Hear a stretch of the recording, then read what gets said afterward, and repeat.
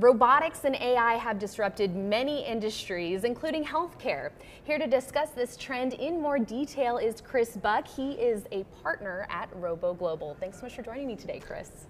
So, when it comes to disruption in the healthcare industry, seems like an area that, that's pretty ripe for disruption. What is happening in that space in terms of technology making things easier for, I guess, doctors, hospitals, and patients? Well, as you know, when we launched Robo over six years ago, one of our main sectors was healthcare systems. So with hindsight, we've spent a lot of time looking at the major trends. And if you look at the healthcare system today, it's 18% of the US GDP, so it's a big number. Uh, it, it's a you know $8 trillion market globally, and, and it's broken.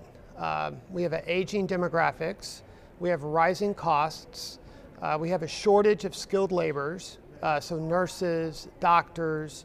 And so at the end of the day, there's a lot of innovative companies that are looking to bring down the cost.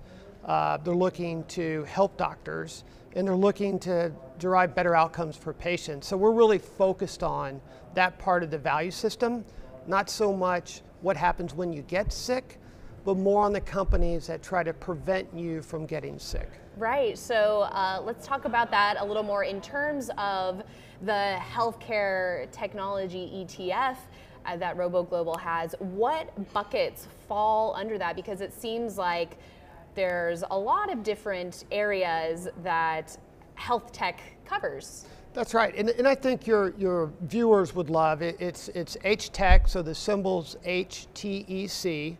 It's Robo Global's Health Tech Technology and Innovation ETF. We launched last January or last June rather, and there's nine subsectors. Uh, again, focused on the technology. And if you think of what AI is doing to uh, uh, the Internet of Things, there's there's an immense amount of data set that's been disconnected. Now with the digitization of medical records and doctors, we're able to apply AI as the computational processing power goes up and the costs are coming down, they're, they're able to explore new ways to, to help clients. So things like medical devices, genomics, uh, diagnostics.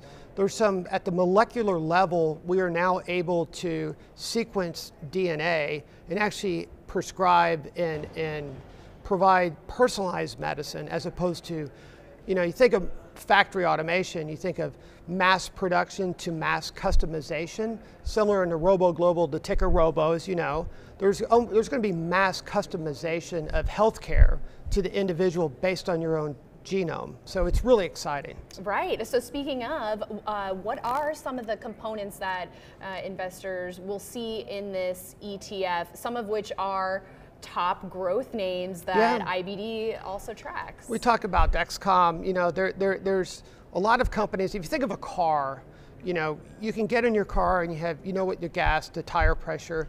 We don't know very much about our own self. So wearables, and if you think of diabetes, there's now companies like Dexcom that are bringing down the cost and bringing up, you know, the ability to monitor yourself because, you know, type 2 diabetes is at record levels in the US for a variety of reasons. Uh, and there's companies that, you know, monitoring yourself, uh, prescribing, you know, best health habits to, to correct some of those maladies. So it's pretty exciting.